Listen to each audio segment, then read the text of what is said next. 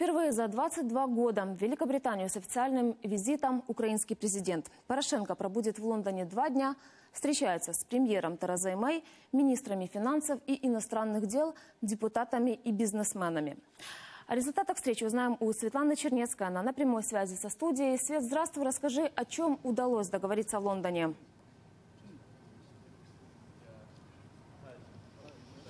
Катя, визит президента совпал с очень важными политическими событиями в Лондоне. Парламент согласился с предложением премьера провести досрочные выборы уже через семь недель.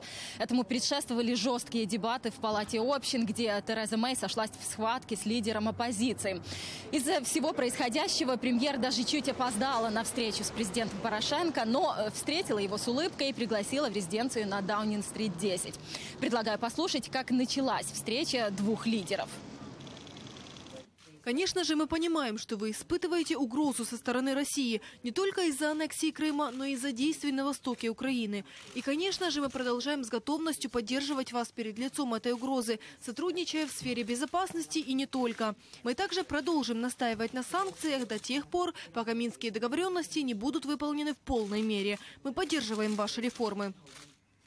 Мы благодарны вам за твердую и надежную позицию в вопросе поддержки суверенитета и территориальной целостности Украины во время нелегальной аннексии Крыма Россией и российской агрессии на востоке страны. Мы хотим обсудить наше сотрудничество в сфере безопасности, поскольку это очень важно для нас. Остальная часть разговора прошла за закрытыми дверями. Э, известно только, что украинская делегация приехала не с пустыми руками, а с рядом проектов в сферах безопасности, экономики и военного сотрудничества. Также президент пригласил премьера посетить Украину в любое удобное для нее время. Я можу підтвердити, що прем'єр-міністр е, запропонувала, щоб Британія брала участь в цілій низці програми реформ. Ми проговорили в співпраці в імплементації судової реформи з- урахуванням британських радників, британського досвіду. Підняли питання візової лібералізації для е, українських громадян. Э, А с Даунинг-стрит 10 Порошенко отправился в соседнее здание Foreign Office. Здесь состоялась встреча с министром иностранных дел Борисом Джонсоном.